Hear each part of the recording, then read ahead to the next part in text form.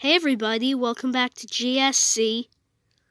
Um, so I made up some characters called the Weirdos. I'm not sure, um, if you guys have seen those, but if you have not seen my made up characters, then be sure to watch them before watching this video. Um, but if you've already seen the Weirdos, then that's great, you can watch this video. Meh, been doing that a lot today. And um I made up a seek and find. So technically if you've never played this, let me just explain real quick how this works. So technically there are two pictures, they look the exact same, but only one of them is different. So I'm going to give you 10 seconds, see if you can spot the difference.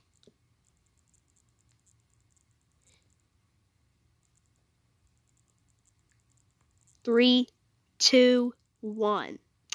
All right. Did you get it? The answer is so. One of my weirdos' names was Dogcopter. He's half dog, half helicopter. Anyway, as you can see, he's missing a win. He's missing a window.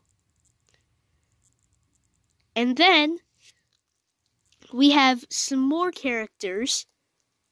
Um, so technically, there's a mosquito that delivers mail and he gives it to the Scarlet Tanager. So technically, see you can spot the difference on this picture.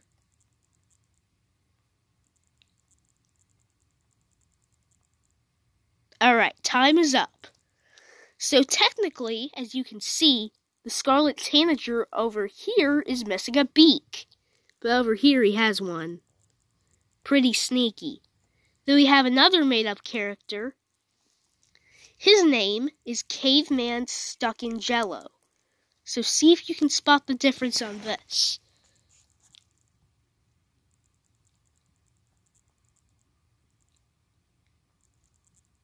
Alright, time is up.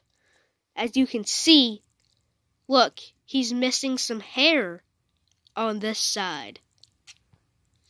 Alright, everybody, thanks for watching, and, um, I would comment down below, um, if you guys would like me to do more of these, but I can't because you cannot comment on kids' channels anymore.